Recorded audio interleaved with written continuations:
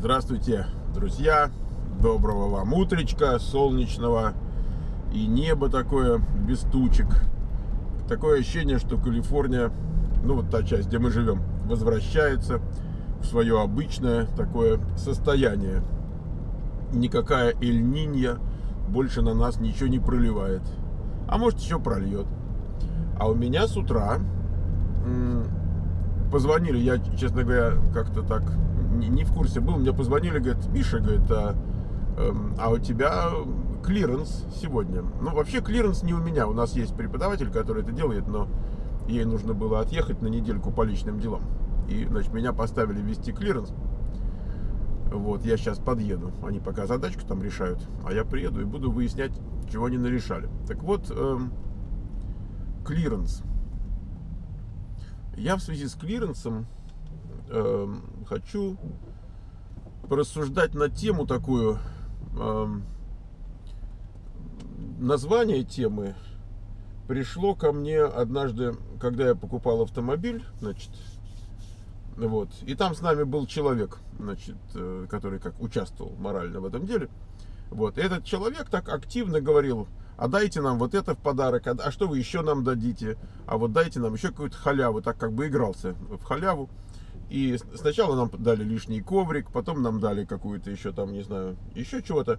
А потом мужик, который, значит, там за старшего был, он говорит, знаешь что, сказал он вот нашему этому сопровождающему, иногда меньше, это больше.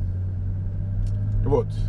И так глубокомысленно сказал, и мы все задумались над тем, что он сказал. И, в общем, так вот, клир, клиренс это такое, значит, э, событие, когда я постоянно вспоминаю вот этого мужика с его фразой, что иногда меньше, это больше. Э, это не только клиренс, это вообще любой, любой такой разговор, интервью, собеседование, когда люди начинают, эм, ну им задают вопрос, а они дальше начинают гадать. Но что происходит в момент гадания? В момент гадания он начинает предлагать решения какие-то. Ну вот, допустим, там ему говорят, когда сделан э, build, да, вот когда взяли, собрали с программистов там кусочки кода и откомпилировали вместе, вот получился build, какой будет самый первый тест, вот, который нужно сделать. И правильный ответ, что этот тест, у него много названий. Его иногда называют Release Acceptance, Build Acceptance, некоторые называют Smoke Test, некоторые называют его Sanity Test. Ну, как бы это уже такие, как бы больше сленговые, но у него есть название. А, и дальше человек начинает, но он не знает, и он начинает гадать. Он говорит, там, regression, и ты начинаешь понимать, что он не врубается, что такое регрессион. А же его еще и спросить могут тоже. Он говорит, а регрессион, а это как? И дальше выясняется, что он не знает регрессион. А дальше он говорит, там exploratory тестинг. И ты думаешь, боже, неужели этот человек три месяца проучился? Exploratory, то есть он еще и этого не знает. А уже проще, да, уже вообще ничего нет. Ну, и короче, так начинается такое называние там 5, 8, 10 разных ответов, как бы, понятий, терминов там да, и, и ты с ужасом, я с ужасом, вот это мне этот ужас предстоит сейчас, и ты с ужасом понимаешь, что человек не только не знает, а, что существует там какой-то релиз acceptance тест, там build acceptance тест, вот, и в какой очередности там происходит событие, и так далее, и зачем он нужен, и почему он нужен, и как он делается, там, и так далее. Значит, но э, ты вдруг начинаешь понимать, что рушится вся система, потому что человек вообще ничего не знает. И вот я, я к тому это говорю, что э, очень опасно, очень опасно перебирать. Потому что вот так он не знает там один вид теста. А когда он начал перебирать, то понятно, что он уже и десяток не знает. Ну, то есть вообще ничего не знает. То есть, то есть как бы это вот э, начинается с маленькой хохмочки, а заканчивается катастрофической такой хохмочкой. Вот. И уже, ну, в общем, мы, конечно, это все делаем внутри нашего учреждения, с тем, чтобы все-таки они подготовились. Задача клиренса, и ему еще предшествует МОК, называется МОК интервью, где они больше по технической части излагают. Клиренс это там, там тоже есть test case ы и bug report ы, мы начинаем с этого, но Дальше мы на клиренсе так позиционирование обсуждаем. То есть, а как ты попал в тестирование, почему тебе нравится тестирование, как ты себя дальше видишь, а, чего ты ожидаешь там от internship а, на который, да, после, после клиренса мы их начинаем посылать по компаниям на internship ы и так далее. Ну, то есть, идея в том, чтобы он там, скажем, с трех интервью получил два предложения, а не то, чтобы с десяти не получил ни одного. Понимаете? Так. Ну, в общем, вот такое. Я, я не люблю делать и клиренсы, и моки всякие, потому что э, как-то я огорчаюсь от этого дела. Мне тут сегодня вопрос какой-то был. Там спрашивает человек, скажите, вы всегда были такой спокойный? Я не всегда был такой спокойный. С возрастом люди становятся более спокойными, я замечал на многих людях. Но дело в том, что я и сейчас не такой спокойный. Потому что меня можно огорчить. Вот я когда вижу, что студент учится, учится и ничего не знает, вот э, я огорчаюсь. А, или, допустим, вот он э, ведет себя неправильно как-то, потому что у нас же цель есть, он же должен на работу попасть. Понимаете, у него может быть жена, там, детки, там что-то. Так, на кону, ставка-то высокая, понимаете? И вдруг раз. И вот я начинаю огорчаться. Поэтому я не провожу моки и клиренсы. А в лучшем случае вот там резюме пишу. Ну и резюме тоже, знаете, вот интересно. У нас онлайн-класс закончился, вот сегодня новый начинается. Закончился онлайн-класс. Э, там их человек 110 у половины уже есть резюме.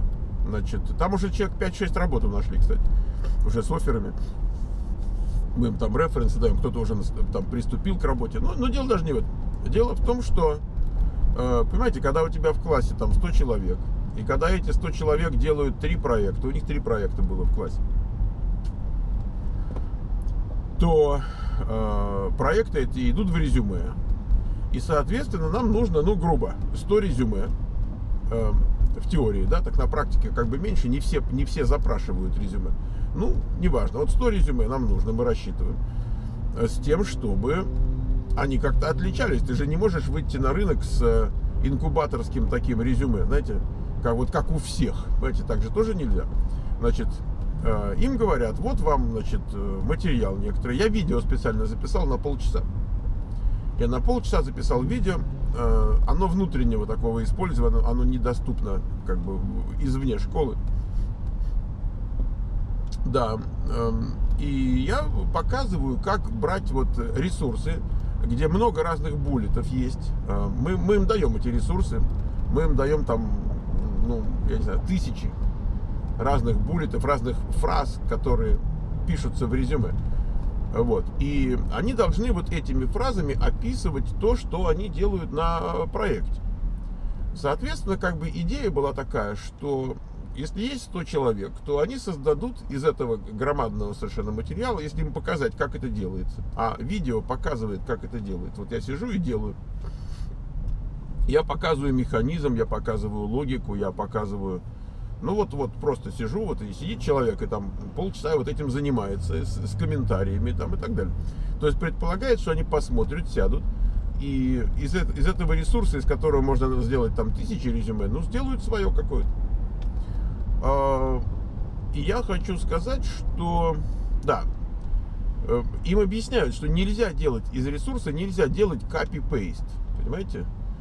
Потому что это получится у всех так да, значит, а надо вот взять что-то, что близко, и дальше его модифицировать, немножко там, может быть, ну, ну вот как бы адаптировать к себе. И дальше мы видим, что народ 9 из 10 просто делают копипейст, при том, что сказано не делать копипейст. Сказано и показано, как надо делать. И знаете что? Э, вот не делают. Э, или там, когда возвращают, у меня есть теперь помощница, которая э, делает, помогает мне с резюме. И вот, значит, э, они должны ей сначала послать, она там с этим как-то работает, потом мне уже на окончательную доработку присылает. И вот я с ней разговариваю, говорю, а почему, говорю, вот как-то присутствует элемент инкубаторности то есть вот надерганные фразы какие-то не переработанные. Она говорит, понимаешь, говорит, я им возвращаю, а они говорят, а я не могу лучше сделать. А, или там, а я вот сделал все, что мог, при том, что не делал практически ничего. И все это взрослые люди с высшим образованием. И живут они все в Соединенных Штатах. Они, они не живут там в Китае или там, я не знаю где еще. Они уже в Америке, ну в Канаде там. В основном. Там, может быть, есть пару-тройку человек, которые э, собираются приехать скоро. Но в основном они уже тут. То есть, как бы, очень понятно, для чего им это резюме. Очень понятно, что вот буквально там, ну, ну руку только протянуть и твое, да? Но уже сядь, сделай. Не, вы чего. Это проблема вообще. Эм, я могу сказать, что вот из тех, из последних там 50 резюме вот той группы, которая сейчас закончилась, может быть, было 3 или 4, когда я сказал, вау, вот человек поработал, вот это да, вот это да. Вот, вот это было 3-4 раза. Все остальное это было, ну, вот такое copy-paste, а иногда и копи-пейст не было, а просто была какая-нибудь мура, э, которая у него там лет пять где-то болталась, там, вот он ее бросил и послал. Вообще без всяких там буллетов, шмулетов, там без ничего. Хотя наиболее существенная часть резюме это и есть вот эти буллеты, потому что это то, что опыт, это, как бы, да, буллеты описывают твой опыт на одном проекте, на втором проекте, на третьем проекте. Буллеты это то, что делает резюме привлекательным, Хочется поговорить с человеком, который вот это делал, это делал, это делал. Да, так что с буллетами у нас получается, что иногда больше это больше, а не меньше больше, да? То есть все-таки надо потратить время, потратить больше времени, потратить больше усилий. Вот. А если не знаешь что, воздержись. Тогда получается, что меньше становится больше. Да? В общем, так мы начали с одного правила, а пришли к другому. А, и что-то необъяснимые вещи в жизни происходят. К вопросу об огорчениях. Да, конечно.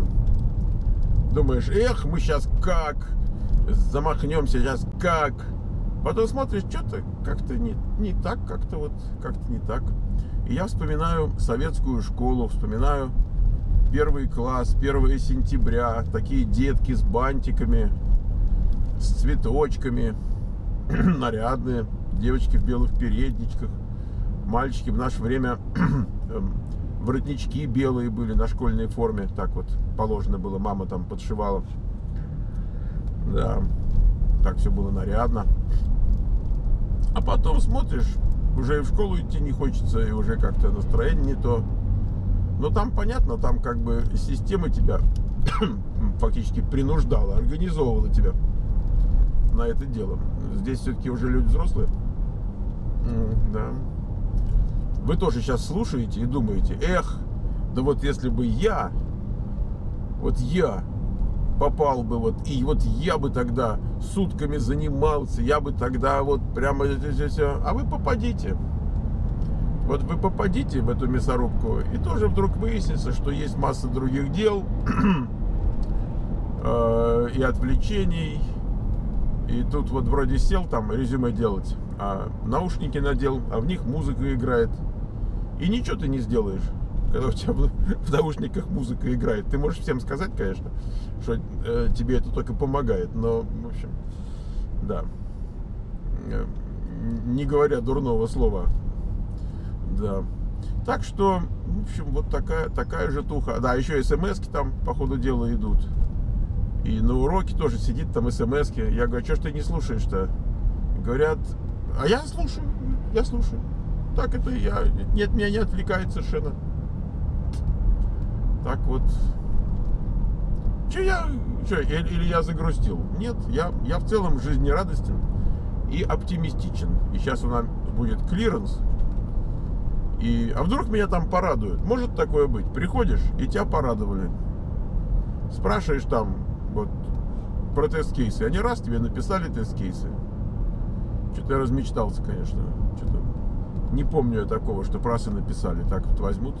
А еще знаете, что бывает? Вот э, mock, там тоже тест-кейсы, баг-репорты. Э, а потом клиренс. Ну, между mock ом и клиренсом, может быть, там две недели прошло. Так он на mock е вроде писал тест-кейсы, а между mock ом и клиренсом забыл. Знаете, как бывает? Вот выучил алфавит, Там через две недели надо что-то прочесть, а уже буквы забыл. Вот у нас такое сплошь и рядом, поэтому мы стараемся, чтобы между mock ом и клиренсом времени было мало, с одной стороны, с другой стороны, мы вынуждены повторять а, тест-кейсы и баг-репорты на клиренсе, хотя вроде бы мы на mock е уже сделали, потому что мы знаем, что это ничего не значит. Так вот, друзья, интересная житуха. Ну что я тут на светофоре-то стою? Там меня ждут люди, которые хотят рассказать про тест-кейсы и баг-репорты. И порадовать дедушку.